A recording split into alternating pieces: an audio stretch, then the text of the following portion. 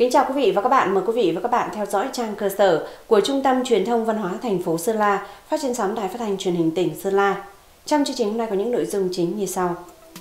Đảng ủy phường Trường Lề, phường quyết tâm sơ kết 6 tháng đầu năm, triển khai nhiệm vụ 6 tháng cuối năm 2024. Tổ 2 phường quyết tâm giao lưu văn nghệ.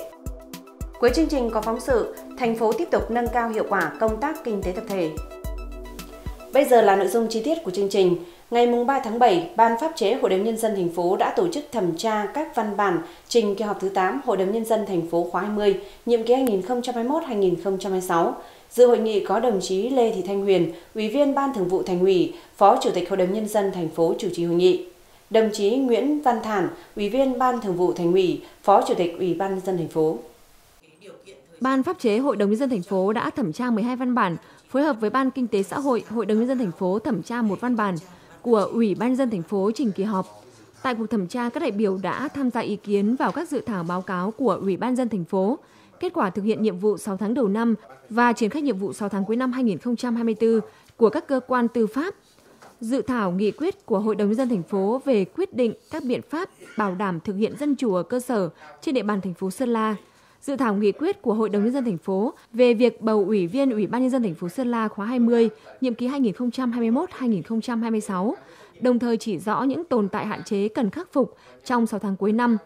Đề nghị Ủy ban nhân dân thành phố có giải pháp đồng bộ, lộ trình giải quyết cụ thể đối với đơn thư kiến nghị thuộc thẩm quyền, nâng cao chất lượng hiệu quả công tác đảm bảo trật tự an toàn giao thông, trật tự công cộng, trật tự đô thị, có giải pháp đồng bộ cụ thể phù hợp để cải thiện và nâng cao chỉ số sự hài lòng của người dân, tổ chức đối với sự phục vụ của cơ quan hành chính nhà nước.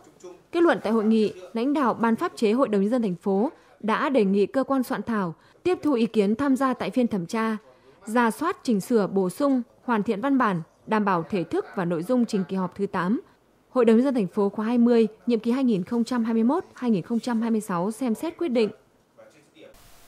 Đảng ủy phường Trường Lề, phường Quyết Tâm đã tổ chức hội nghị sơ kết công tác xây dựng Đảng 6 tháng đầu năm, triển khai nhiệm vụ 6 tháng cuối năm 2024. 6 tháng đầu năm 2024, Đảng ủy phường đã tập trung lãnh đạo chỉ đạo Hội đồng nhân dân, Ủy ban nhân dân, Mặt trận Tổ quốc và các tổ chức chính trị xã hội phường tuyên truyền vận động nhân dân thi đua lao động sản xuất, kinh doanh dịch vụ, tăng cường công tác phòng chống dịch bệnh cho gia súc gia cầm, công tác phòng chống cháy nổ, công tác quản lý kinh doanh thương mại, quản lý chợ được tăng cường, tạo điều kiện thu hút đầu tư tăng thu ngân sách, thực hiện tốt công tác quản lý, kiểm tra về trật tự xây dựng trên địa bàn. 9 tổ bản đã ra mắt mô hình ngôi nhà trí tuệ, chính sách an sinh xã hội, giải quyết việc làm gắn với giảm nghèo bền vững thực hiện có hiệu quả. Tỷ lệ bao phủ bảo hiểm y tế 6 tháng đầu năm đạt 96%. An ninh quốc phòng trên địa bàn được đảm bảo và giữ vững. 1.050 trên 1.225 đảng viên ký cam kết với cấp ủy tri bộ trong thực hiện và học tập làm theo tư tưởng đạo đức phong cách Hồ Chí Minh năm 2024, kết nạp 3 đảng viên mới, trao tặng huy hiệu đảng cho 47 đảng viên thuộc đảng bộ. 6 tháng cuối năm 2024, Đảng ủy phường tiếp tục tập trung lãnh đạo nhiệm vụ phát triển kinh tế xã hội, quốc phòng an ninh trên địa bàn. Các tri bộ duy trì chế độ sinh hoạt, đổi mới nâng cao năng lực lãnh đạo, sức chiến đấu của tổ chức đảng và đảng viên, xây dựng mô hình chi bộ 4 tốt, đảng bộ 4 tốt, tập trung lãnh đạo tổ chức đại hội các chi bộ trực thuộc đảng bộ phường nhiệm kỳ 2025-2027. Đại hội đại biểu Đảng bộ phường Trường Lề lần thứ 15, nhiệm kỳ 2025-2030. Trong 6 tháng đầu năm 2024, Đảng ủy phường quyết tâm đã tập trung lãnh đạo đẩy mạnh phát triển kinh tế xã hội, đảm bảo quốc phòng an ninh, an sinh xã hội, thực hiện có hiệu quả công tác xây dựng Đảng, củng cố hệ thống chính trị. Tổng giá trị sản xuất đạt trên 252,2 tỷ đồng, bằng 71,24% kế hoạch. Thu ngân sách trên địa bàn đạt trên 557 triệu đồng, bằng 74,2% dự toán thành phố giao. Công tác tài nguyên môi trường, quản lý trật tự xây dựng được thực hiện nề nếp, tập trung lãnh đạo nâng cao chất lượng giáo dục, khuyến học khuyến tài, thực hiện có hiệu quả công tác phòng chống các loại dịch bệnh, nâng cao công tác chăm sóc sức khỏe cho nhân dân, đồng thời tập trung lãnh đạo và thực hiện có hiệu quả công tác bảo đảm an ninh trật tự, phòng chống tội phạm, cấp căn cước công dân, kích hoạt mã định danh điện tử, làm tốt công tác huấn luyện sẵn sàng chiến đấu. Trong thời gian tới, Đảng ủy phường quyết tâm tiếp tục đổi mới phương thức lãnh đạo, điều hành, phấn đấu hoàn thành kế hoạch phát triển kinh tế xã hội, bảo đảm quốc phòng an ninh, thu ngân sách, làm tốt công tác tuyển sinh và khai giảng năm học mới 2024-2025. Cũng tại hội nghị đã tổ chức sơ kết 5 năm thực hiện chỉ thị số 36 ngày 16 tháng 8 năm 2019 của Bộ Chính trị về tăng cường nâng cao hiệu quả công tác phòng chống và kiểm soát ma túy. 3 năm thực hiện nghị quyết số 18 ngày 11 tháng 11 năm 2021 của Ban Thường vụ tỉnh ủy về tăng cường nâng cao hiệu quả công tác phòng chống và kiểm soát ma túy giai đoạn 2021-2025.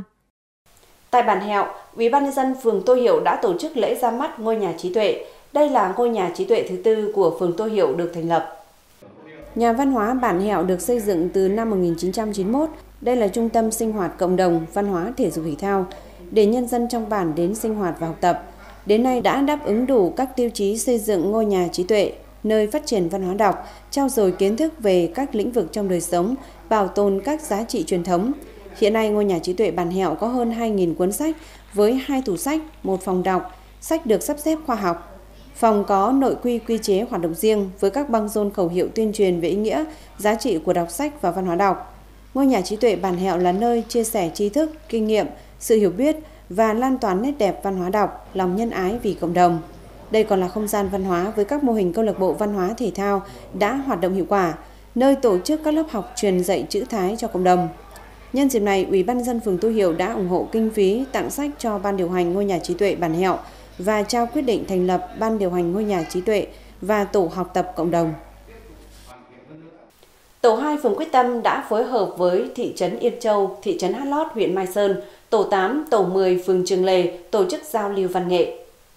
Tại buổi giao lưu, các đội văn nghệ, câu lạc bộ dân vũ của các đơn vị đã biểu diễn một chương trình văn nghệ đặc sắc với chủ đề ca ngợi Đảng Bác Hồ kính yêu, ca ngợi quê hương đất nước và quê hương Sơn La đổi mới. Các bài ca, điệu múa mang đậm đà bản sắc văn hóa các dân tộc thành phố Sơn La và nét văn hóa độc đáo của cộng đồng dân tộc huyện Yên Châu, Mai Sơn. Thông qua chương trình giao lưu là dịp để các tổ dân phố của thành phố và huyện Yên Châu, Mai Sơn được gặp gỡ giao lưu, trao đổi kinh nghiệm trong thực hiện phong trào xây dựng đời sống văn hóa ở khu dân cư, giữ gìn và phát huy bản sắc văn hóa của các địa phương, đồng thời tìm hiểu và học hỏi những kinh nghiệm trong xây dựng và phát triển phong trào văn hóa văn nghệ, thể dục thể thao, theo đó đẩy mạnh phong trào toàn dân rèn luyện thân thể theo gương Bắc Hồ vĩ đại.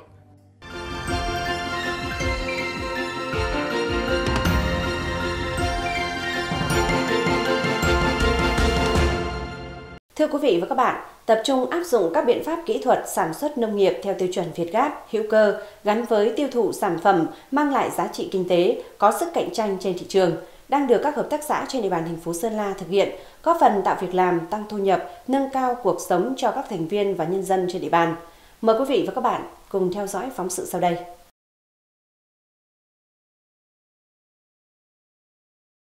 Hiện nay trên địa bàn thành phố có 73 hợp tác xã, tổng nguồn vốn đăng ký hơn 148 tỷ đồng,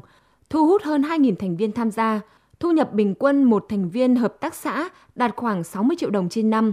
Hoạt động của các hợp tác xã trong lĩnh vực nông nghiệp đã thúc đẩy quá trình sản xuất, tiêu thụ sản phẩm trên địa bàn thành phố phát triển nhanh chóng. Tuy doanh thu và lợi nhuận của hợp tác xã không cao, nhưng việc áp dụng tiến bộ khoa học kỹ thuật nông nghiệp giúp hợp tác xã giảm lượng giống, nước, phân bón, thuốc bảo vệ thực vật, nhân công, làm tăng năng suất và đảm bảo thực hiện tốt các khâu dịch vụ, hỗ trợ sau thu hoạch.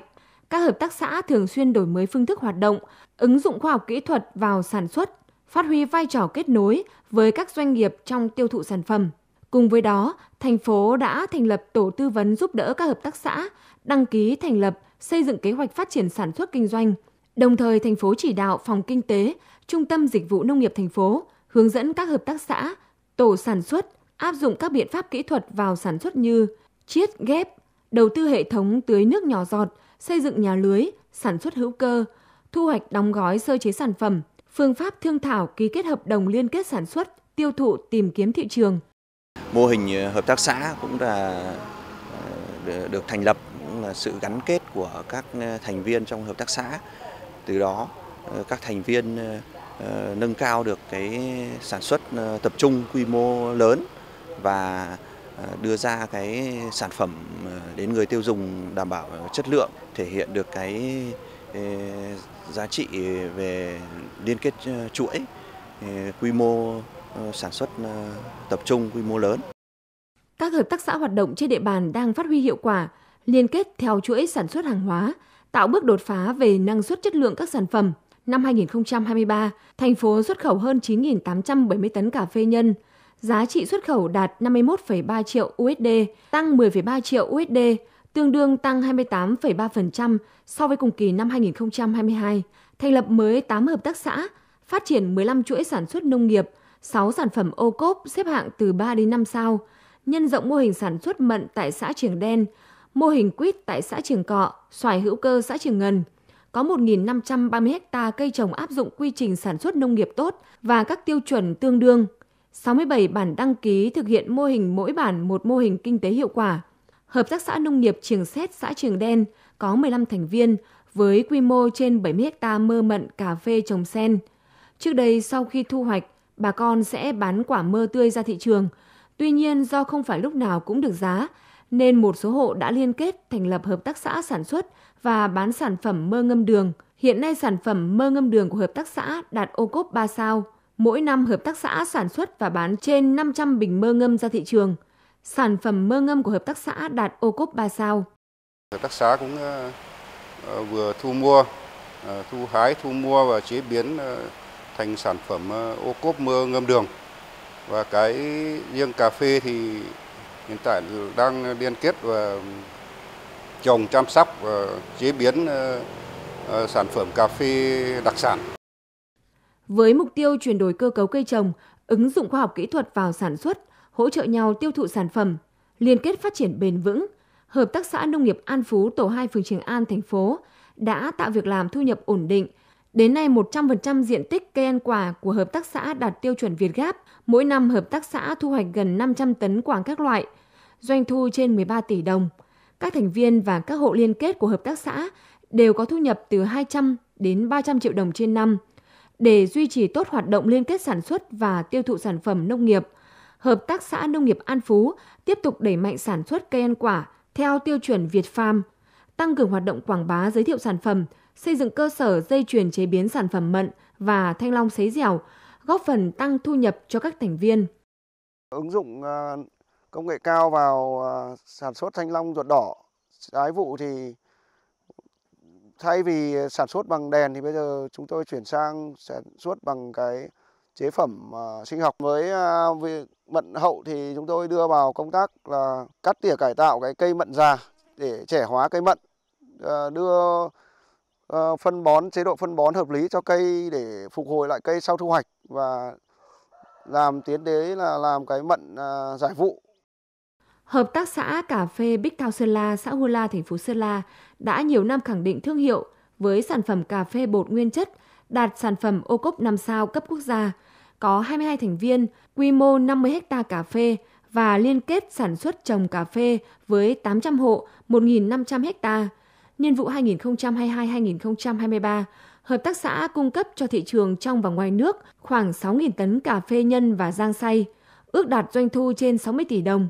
Năm 2023, hợp tác xã nghiên cứu sản xuất thành công sản phẩm cà phê bột sấy thăng hoa hòa tan, tiếp tục phát huy dòng cà phê đặc sản, chất lượng cao. Hợp tác xã đã thử nghiệm và chế biến thành công sản phẩm cà phê hòa tan sấy thăng hoa. Hợp tác xã đã đang để sản xuất tức là cà phê thăng hoa hòa tan. Thì cái dòng cà phê hòa tan, hòa tan này nó sẽ là dòng cà phê nguyên chất, tức là không có hương liệu và phụ gia và tất cả những thị hiếu trên thế giới bây giờ là người ta đang đẩy mạnh về cái cái cái sản phẩm.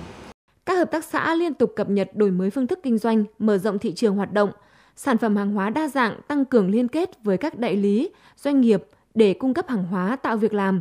Sự hình thành của các hợp tác xã giải quyết được một phần việc làm cho người lao động và mang lại lợi ích, nâng cao thu nhập, cải thiện đời sống cho các thành viên khi tham gia, góp phần phát triển kinh tế xã hội, xây dựng nông thôn mới. Cùng với sự hỗ trợ của các cấp, ờ, tự thân các hợp tác xã đã chủ động thay đổi hình thức sản xuất kinh doanh, tìm kiếm thị trường, đầu tư quảng bá và uh, tìm hiểu thị trường. Chính vì vậy, các sản phẩm của địa phương đã được nhiều người biết đến, giá trị sản phẩm uh, được tăng cao, tạo việc làm, thu nhập ổn định cho lao động của địa phương. Với việc chú trọng phát triển kinh tế hợp tác xã trên địa bàn, đã tạo tư duy tích cực cho các thành viên hợp tác xã trong sản xuất nông nghiệp theo hướng xanh sạch an toàn, nâng cao giá trị sản phẩm, tăng giá trị sản xuất trên diện tích canh tác, góp phần giải quyết việc làm và đem lại thu nhập ổn định cho lao động. Quý vị và các bạn vừa theo dõi trang cơ sở của Trung tâm Truyền thông Văn hóa thành phố Sơn La, phát trên sóng Đài Phát thanh Truyền hình tỉnh Sơn La. Thân ái chào tạm biệt và hẹn gặp lại.